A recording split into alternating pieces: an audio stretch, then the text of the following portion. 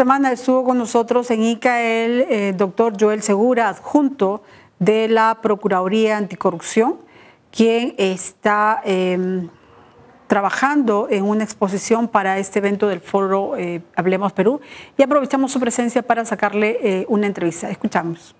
Bien, eso es punto de vista y habíamos anunciado la presencia del doctor Joel Segura Alania, procurador anticorrupción adjunto de la Procuraduría Anticorrupción, con quien está aquí en nuestra ciudad. Doctor, en primer momento queremos un poco eh, que la población tenga claridad cuál es el rol que cumple la Procuraduría Anticorrupción, cuál es la labor, la diferencia con la Fiscalía y con las otras instancias que tiene que ver la Administración de Justicia. Eh, buenas tardes. Eh, primero agradecer la, la, oportunidad de dirigirme al pueblo de Ica eh, y en segundo lugar responder a la pregunta que plantea fundamentalmente incidiendo en la función que tiene la Procuraduría Pública Anticorrupción. La Procuraduría Pública Anticorrupción es una entidad del Estado, es el representante de la sociedad, es el representante de la sociedad para coadyuvar en la investigación de los delitos en corrupción de funcionarios y fundamentalmente lo que buscamos es el resarcimiento del daño que han causado o que causa el delito de corrupción en la sociedad. Entonces somos parte de un proceso, buscamos el resarcimiento normalmente económico o que este funcionario lo que se ha robado, lo que ha sustraído, se ha devuelto al Estado. Entonces, esa es nuestra principal función y, claro, para conseguir eso tenemos que trabajar muy de la mano con la policía, con la fiscalía, con eh, los mismos jueces, porque hay que pedir muchos embargos, hay que coordinar acciones que eh, en buena cuenta eh, nos garanticen resultados exitosos en un caso. Porque normalmente la corrupción cuando empieza un, proceso, lo que hace un funcionario es vender sus cosas, quedarse sin nada. Entonces, para eso nosotros necesitamos interponer medidas cautelares, necesitamos hacer muchas acciones para garantizar, si es que se logra una condena, eh, cobrar esto como reparación civil en representación del Estado. Sobre la base que usted nos informa, esta situación de resarcir y la situación que se da de corrupción al propio Estado, ¿cuáles son eh, los resultados? ¿Cómo se está dando? Eh, hemos observado que hay un avance en esa situación, pero para que la misma opinión pública también tenga esta claridad de la información. Eh, la Procuraduría Pública, antes de esta gestión, me parece, es una opinión personal, que ha tenido una actividad muy tibia, eh, no ha tenido una actividad muy proactiva como la que tiene la Procuraduría en la actualidad. Eh, incidentemente porque estamos revisando los casos de antes y nos damos cuenta de que como acciones concretas no se habían realizado eh, cosas que debían haberse realizado hace años y que ahora los estamos retomando eh, incluso ya con mucho tiempo transcurrido, por ejemplo, la recuperación de dineros incautados o de cuentas incautadas en Luxemburgo, 12 años atrás, perdón, 11 o 10 años hacia atrás, y el Estado hasta ahora, porque nosotros somos los que en buena cuenta buscamos el resarcimiento, o que esta plata que el funcionario del Estado en la, gestión, en, la época del presidente Fujimori eh, fundamentalmente Montesinos y todos sus colaboradores han depositado en cuentas cifradas, cuentas en Luxemburgo, cuentas en Suiza. Estos han demostrado en casos concretos que estos dineros han sido desviados a partir de fideicomisos. A pesar de esas pruebas que han habido en casos concretos, el Estado, eh, fundamentalmente a través de su Procuraduría en su tiempo, debió haber gestionado la recuperación de estos dineros que no se han hecho y que ahora, desde que desde la gestión del Procurador Bisú, es que se ha incentivado o se está insistiendo mucho en mecanismos para acelerar este tipo de, recuperación. Es un ejemplo eh, que es bastante complejo, porque no estamos hablando de, Lima, no estamos hablando de Iquitos, no estamos hablando de Ecuador o Chile, estamos hablando de Europa, donde los estándares de justicia incluso son bastante distintos. Entonces hay muchas barreras que hay que superar, pero mm, eh, desde luego le digo que estos eh, ya se han superado en buena cuenta y están encaminados y, supongo que en mediado tiempo va a haber un resultado. Le doy solo como ejemplo eso, ¿no? Y hay otros casos, pues en Panamá, Estados Unidos, ¿no? Donde hay mucho que hacer, necesitamos manos, necesitamos gente, necesitamos tiempo, ¿no?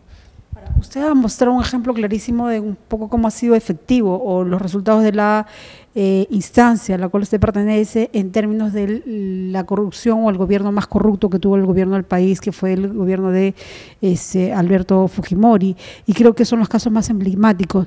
Pero a nivel de país, a nivel de, eh, del Perú, ¿cómo está trabajando? ¿Están eh, instalados en todas las sedes? ¿Hacia dónde se está orientando la fiscalización? ¿Más a la gestión pública? ¿A qué nivel de instituciones? Em, como organización y como gestión, la Procuraduría se ha reestructurado. Hemos, hemos, uh, nos hemos organizado en niveles de casos. Tenemos casos eh, de perfil bastante alto, perfil medio y casos eh, comunes y corrientes como las coimas de los policías o los choferes coimiendo a los policías, ¿no? Esos son casos de 5 soles, 10 soles y casos menudos, eh, pero son de mayor cantidad y tenemos los casos de, de, gran perfil que diríamos, que donde están este, expresidentes, están ministros, están altos funcionarios del Estado y en el segundo nivel están eh, las grandes inversiones, la mala administración de los grandes proyectos, donde también hay muchas denuncias de corrupción de funcionarios. Entonces, a partir de esta clasificación eh, tratamos de establecer algún tipo de coordinación especial, algún tipo de mecanismos de ayuda, porque son casos complejos donde hay que trabajar mucho. Y a nivel macro-regional lo, que, eh, lo que la Procuraduría ha hecho es distribuir en varias regiones macro la organización y la coordinación de las procuradurías. Es cierto, no vamos a negar que falta manos, que falta procuradores, nos gustaría que cada distrito tenga su procurador, un procurador anticorrupción, pero lamentablemente el Estado no le alcanza el presupuesto para a nivel regional. Eh, y también hay que admitir que eh, eh, tenemos en, nivel de infraestructura y nivel de logística, ni ni siquiera tenemos locales.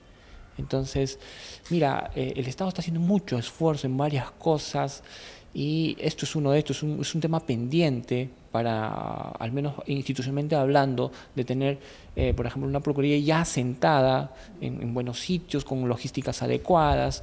Eh, no las tenemos, no las tenemos y, y, la gente que está sí está haciendo mucho esfuerzo en tratar de abarcar las zonas que no, que no tiene, pero lo que yo sí le puedo decir es que la gente que, que está dividida en, macro, en regiones tiene bastante compromiso, se ha cambiado mucho. Y, eh, en ese sentido ya me dicen que nos queda un minuto para acabar la entrevista, es, ¿se pudiera tener eh, una estadística, una proyección más o menos cuáles son los, eh, las situaciones a las cuales más ah, se han dado cuenta este, que están cometidos malos funcionarios?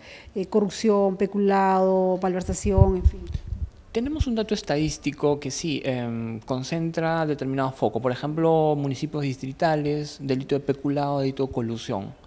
En sentido común, lo que vamos a decir, el peculado es que un funcionario, por su posición, se aprovecha y sustrae el dinero que le han dado para la administración. la colusión es que se pone de acuerdo para hacer malos tratos con algunos otros proveedores para hacerse y defraudar al Estado. Entonces, eso es recurrente. Claro, el Estado eh, el nivel de control no ha minimizado tanto como para llegar a estos distritos y tampoco la Procuraduría y, o las grandes instituciones. Nos hemos focalizado mucho en los casos grandes porque y creo que esos casos chiquitos son los que están haciendo la estadística bastante grande y una percepción bastante negativa, creo, a partir de esos datos. Entonces, en este caso, el peculado uso el uso de las mismas maquinarias o... Eh, exacto. Eh, el funcionario tiene que cuidar mucho el dinero que le da la administración y los bienes que tiene que administrar. Tienen que ser para la gestión y para la comunidad y no tiene que ser provecho propio ni personal. Entonces yo creo que esto, ahí sí hay que ser bastante fuerte y claro en estos temas. Creo que la población también tiene que conocer esta claridad y esa diferencia en el uso de los, de los bienes públicos. Finalmente, ¿quiénes pueden hacer denuncia a la Procuraduría?